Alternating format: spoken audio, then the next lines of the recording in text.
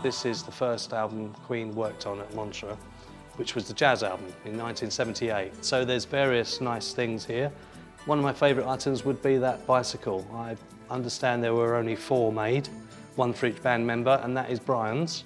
There's a few things in here which are personal to Brian, like the bicycle, which if Brian didn't show, nobody would ever see them. Right, 2015 is the 40th anniversary of Bohemian Rhapsody. This song was released in 1975 and became Queen's first number one, and a classic.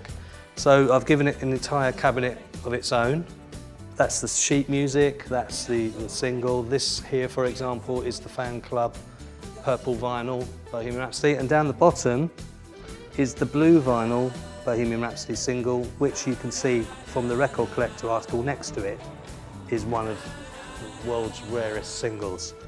Uh, I put it down there deliberately, not here, because I was hoping people would just about be ready to walk away and then think, my God, that's the blue vinyl Bohemian Rhapsody. So that's why it's on the bottom shelf. That, for example, is the track sheet from Sarm Studios when they were recording that song. And those marks at the top left are Freddie's doodles, as Brian refers to them.